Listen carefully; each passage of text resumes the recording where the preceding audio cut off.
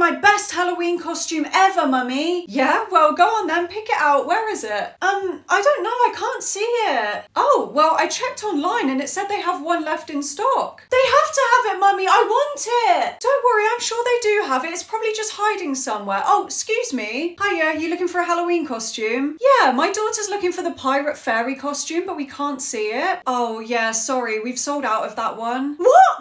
Oh, but when I checked online, it said you have one left in stock. Yeah, there was one left, but we literally just sold it, so the system just hasn't updated yet. You're the worst mummy ever! Look, she's blaming me now for your mistake. Uh, there's no mistake. Um, the system just hasn't updated yet, so we just sold it, so it still says there's one available. Well, it shouldn't say there's one left in stock online when there's not. Look, just pick out a different one, darling. Fine, I'll get this one then. Oh no, that's way too scary for a kid. Put it back. This is so